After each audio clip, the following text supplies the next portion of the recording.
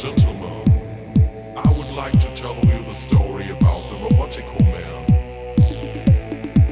A story of adventures in rhythm and sound. Imagine, I am the Robotic Man.